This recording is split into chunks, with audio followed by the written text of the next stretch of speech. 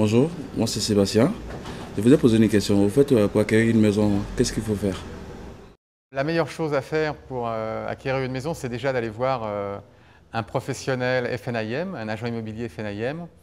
À partir de là, on va pouvoir définir ensemble par rapport euh, à votre budget, par rapport à votre capacité d'emprunt, à votre solvabilité, quel type de maison euh, vous allez pouvoir euh, acheter.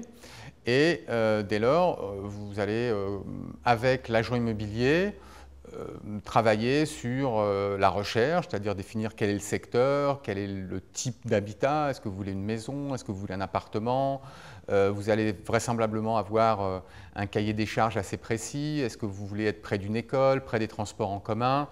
Voilà, et euh, tous, ces différents paramètres que vous allez établir avec votre agent immobilier ben, vont, vous lui permettre pardon, de vous proposer des biens qui correspondent à votre demande.